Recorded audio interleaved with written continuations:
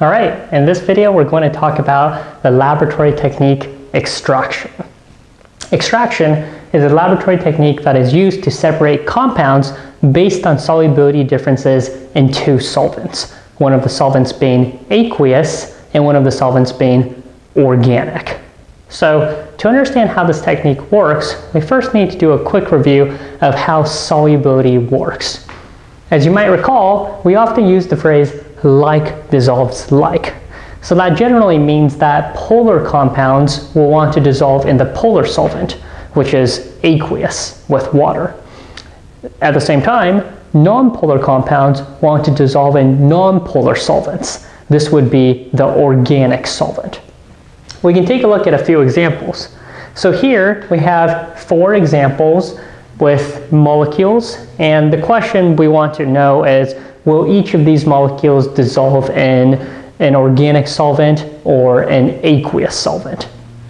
So if we take a look at this first molecule on the top left, toluene, we can see that this molecule is essentially completely nonpolar. It's a hydrocarbon. There aren't any parts of the molecule that are polar. So if you have a molecule that's nonpolar, it will want to go into a nonpolar organic solvent. Take a look at the molecule on the top right. We have glucose. Glucose, you can see, has a bunch of hydroxyl groups that are all very polar. So this is a polar molecule, so it will dissolve in the polar solvent, the aqueous solvent.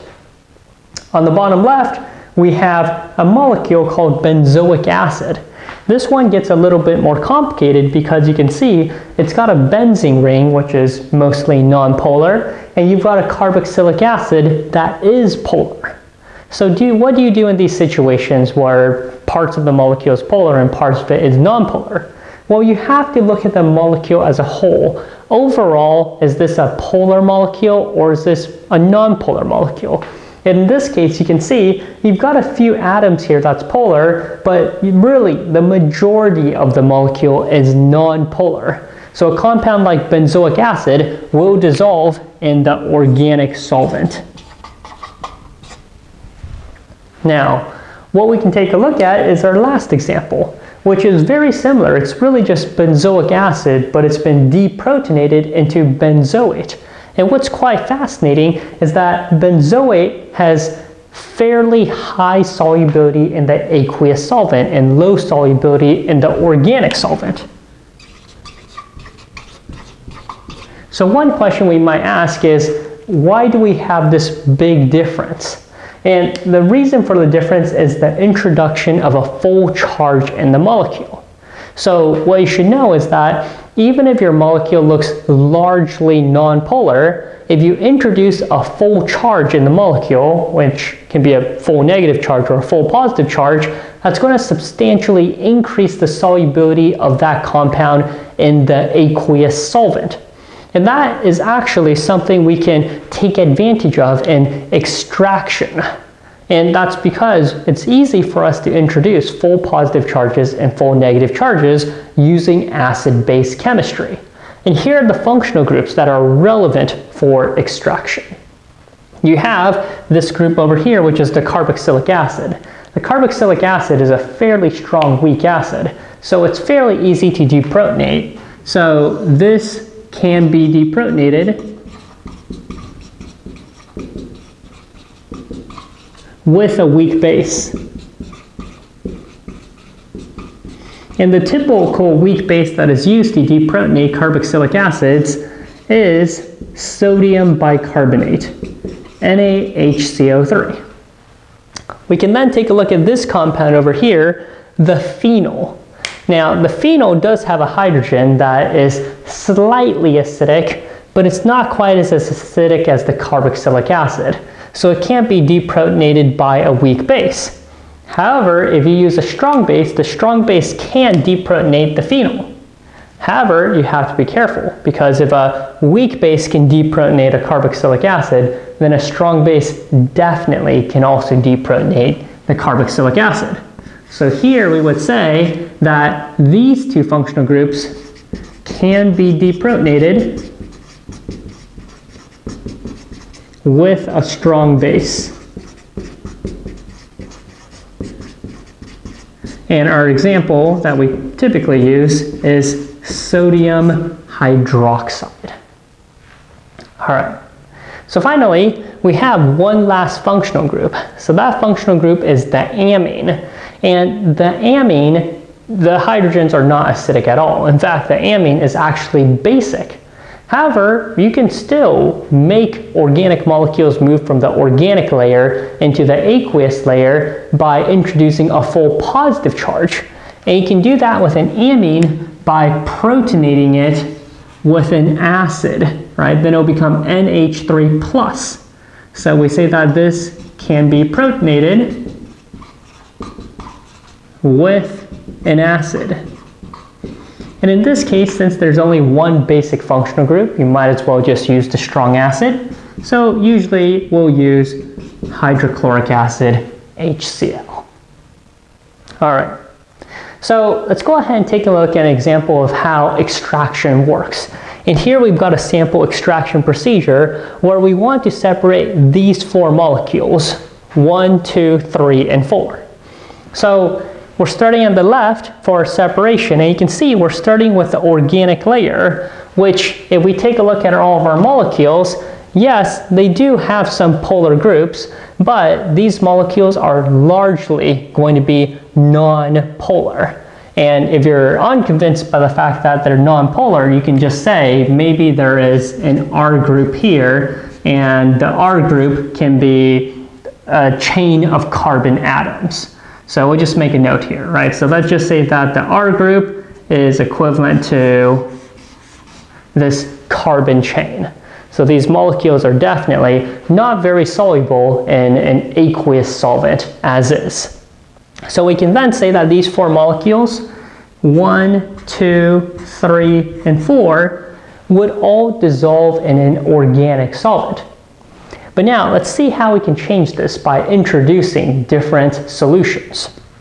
So first, we're going to add hydrochloric acid in an aqueous solution, so HCl dissolved in water.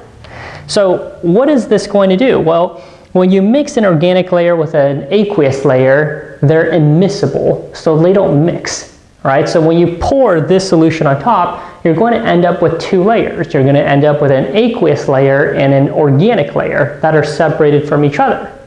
However, when you shake your container, the molecules will get mixed up. So now the molecules can move into the aqueous layer or the organic layer. And which one they're going to move into is going to depend on their solubility. So as we said, to begin with, all four molecules are largely nonpolar and would go in the organic layer. So what does adding HCl do? Well, remember, HCl is able to protonate amines.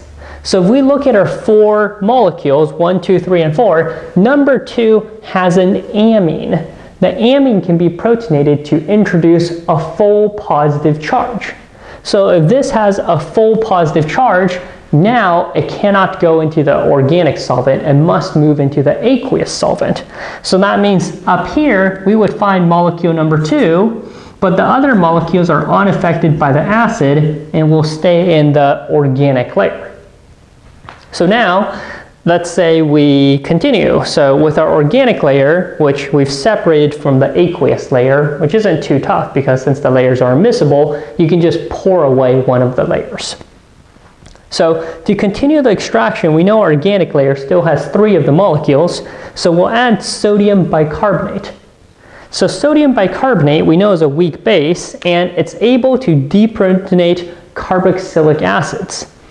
So if we look at the remaining molecule, molecules 1, 3, and 4, we can see that molecule 4 has a carboxylic acid. So with the carboxylic acid, it will be deprotonated to gain a full negative charge. And with a full negative charge, it can no longer be dissolved in the organic layer. It must move into the aqueous layer. So that means we're going to find molecule 4 in the aqueous layer, but molecules 1 and 2 or sorry, molecules 1 and 3 will be unaffected, so they will stay with the organic layer. And now again, we're going to go ahead and pour away our aqueous layer. So now we'll have the organic layer with molecules 1 and 3. And we're going to go ahead and add aqueous sodium hydroxide. Sodium hydroxide we know can deprotonate carboxylic acids and phenols. Between molecules 1 and 3, molecule 3 has a phenol, but molecule 1 doesn't, right? It has the hydroxyl group, but it does not have the benzene ring. So that means molecule 3 will be deprotonated. It will obtain a full negative charge and will move into the aqueous layer, leaving molecule 1 in the organic layer. So in following this procedure, we can see how we were able to separate all four of these molecules using extraction, which takes advantage of acid-base chemistry. Now, one thing to be careful of is the extraction procedure here was done correctly. There are some situations where extraction procedures aren't done correctly. For instance, here the weak base was added before the strong base. If instead someone added the strong base first, then both molecules 4 and 3 would have moved into the aqueous layer because a strong base can deprotonate phenols and carboxylic acids. Okay, so this is how extraction works and what's most important to keep in mind for the MCAT is these three functional groups, carboxylic acids, phenols, and amines, and keeping in mind how we can protonate and deprotonate these groups to introduce full charges that will change their solubilities in organic and aqueous solvents.